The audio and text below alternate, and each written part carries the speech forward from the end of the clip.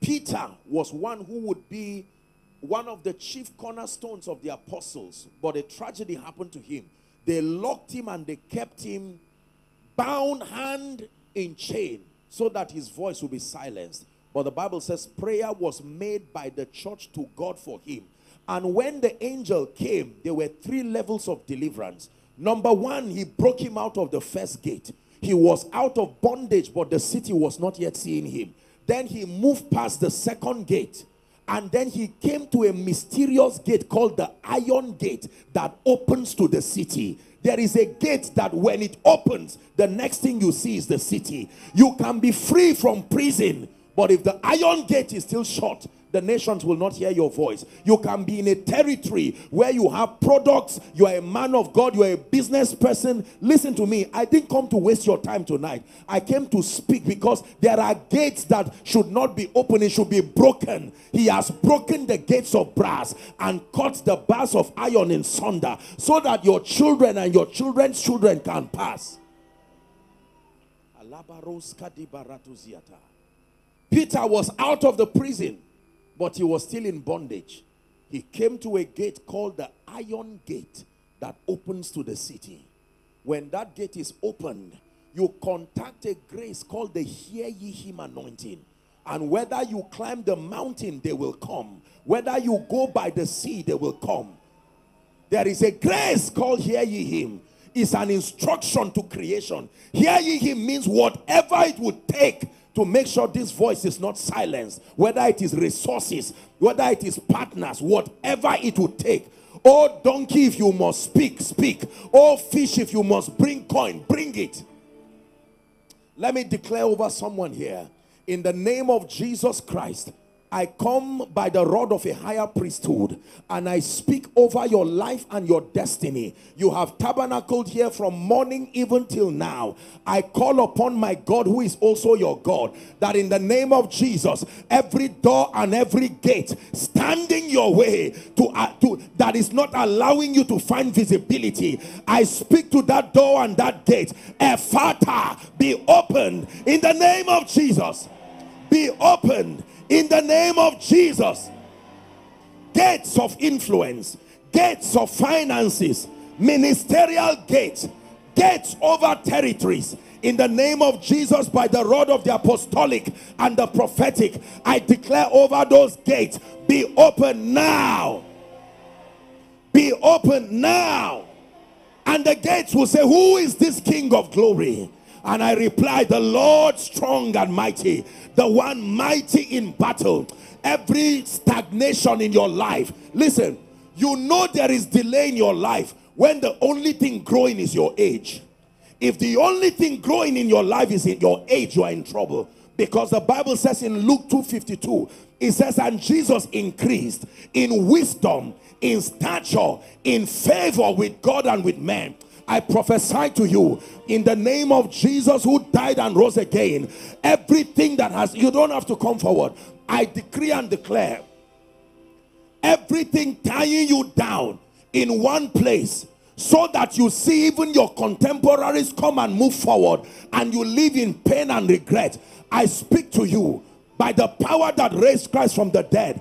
Be released right now. Go forward in the name of Jesus. Hear me. The Bible says it was the Lord that caused Moses and Aaron to advance. People do not just go forward. It takes more than desire to advance. There is the hand of God that can come upon a man. I decree and declare whatever has stopped you from advancing, hear me. By the power of prophecy, I speak over your life. Go forward now in Jesus' name.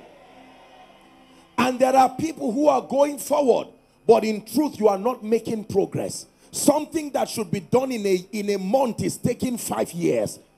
The hand of the Lord came upon Elijah, and Elijah ran and overtook the chariots of Ahab down to Jezreel. I decree and declare the grace for speed 10 years in one year. May that grace come upon you.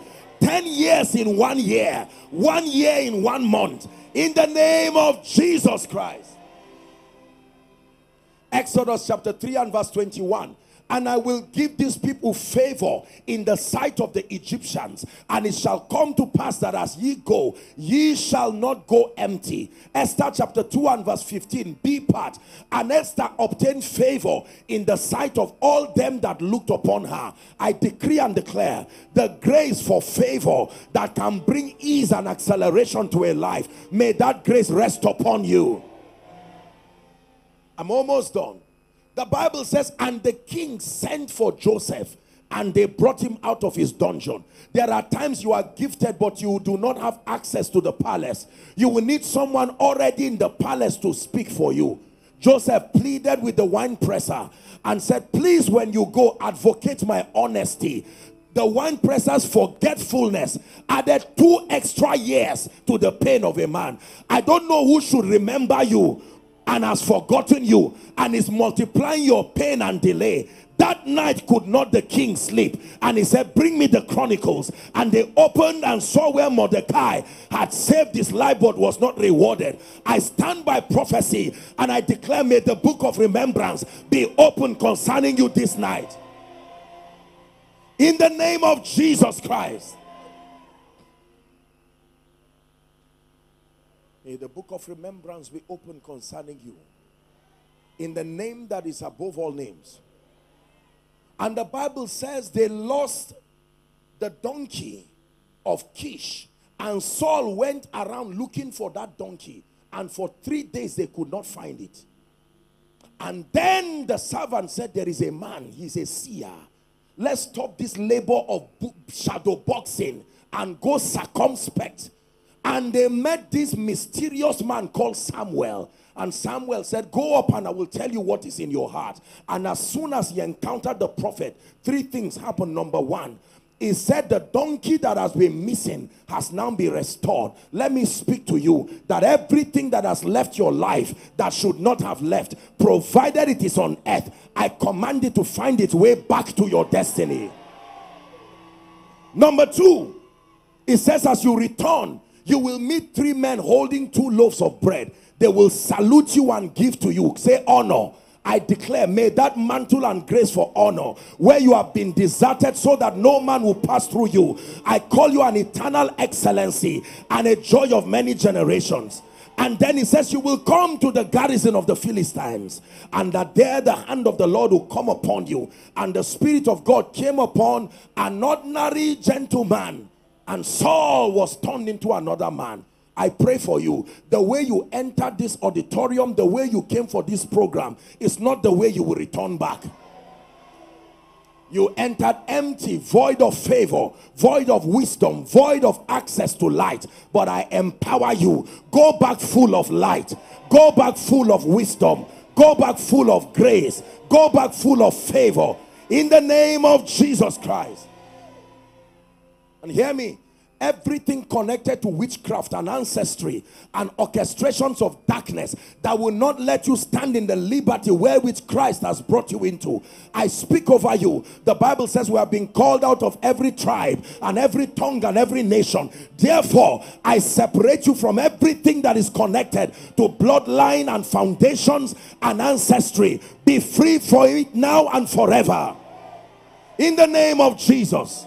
For my Bible declares, blotting out every handwriting and every ordinance that spoke against us. It says he nailed it to his cross. Let there be no railing accusation against you from the pit of hell. You stand like Joshua the high priest, and that robe that is stained is removed from you, and a new robe is given to you. I declare, be blessed in Jesus' name. And for all the organizers, I pray for you. A worker is worthy of his wages. Be blessed in Jesus' name. Go from glory to glory. Go from grace to grace. In Jesus' name I pray. Amen and amen. God bless you.